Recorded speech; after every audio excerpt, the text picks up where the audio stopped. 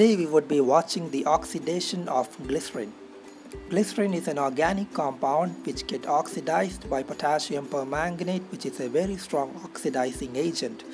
The permanganate ion whose manganese ion has oxidation state of plus 7 is decreased to Mn2O3 whose manganese ion has oxidation state of plus 3.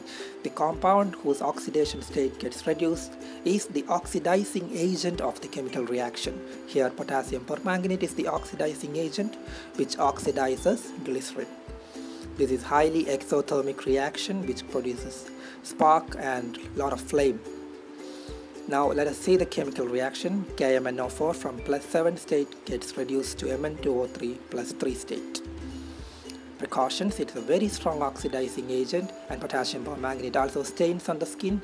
Glycerin as we know is a laxative and can cause bowel abnormalities and this reaction is highly exothermic so we have to do it outside or in a fume hood. Safety is our primary concern, so put on your gloves before starting the experiment. Now we do the experiment. First we take potassium permanganate in a watch glass. Then we have to take glycerin. I've taken some glycerin in this beaker. I kept a piece of newspaper and torn in some pieces of tissue paper in it. The first step is to add the potassium permanganate into the newspaper we have to confine the potassium permanganate to the center of the newspaper so that all of the potassium permanganate can react with the glycerin. Now we will be adding glycerin into the potassium permanganate. You can see that when glycerin comes in contact with potassium permanganate, the water content in glycerin allows the potassium permanganate to dissolve and purple color is being formed. Step 3 is to just roll up the newspaper and we wait for the reaction to take place.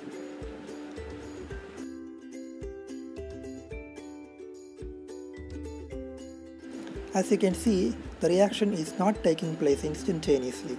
That's because the potassium permanganate I added was crystalline form.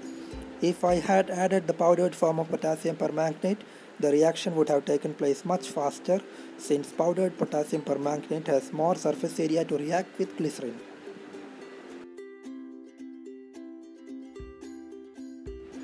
Now you can see fumes have started to arise from the paper which means the reaction has already started and it is highly exothermic in nature.